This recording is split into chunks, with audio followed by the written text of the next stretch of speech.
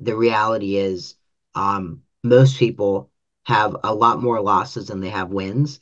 And those losses are arguably more important because that's where the learnings are. That's how you get the information you need to attempt again to get that win. So really the a lot of the blog is is focusing on learnings and losses and and more education and less less bragging.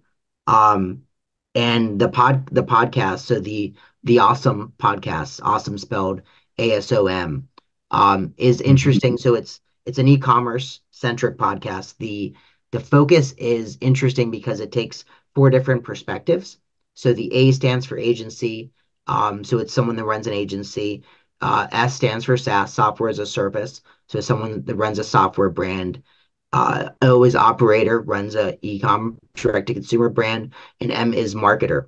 So it's four different approaches towards you know problems in e-commerce, and it's wild that so many things are looked at completely different um, by the you know different pillars of the industry. So it tries Absolutely, to give you a well yeah. well-rounded a well-rounded answer to a problem.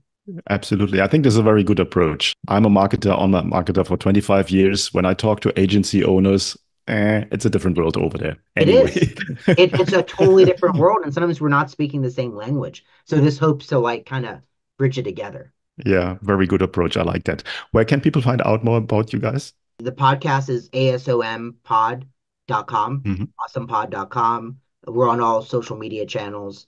For myself, LinkedIn is is where where I'm the best at and the the the most active. I'm not not very good at X. Okay, cool.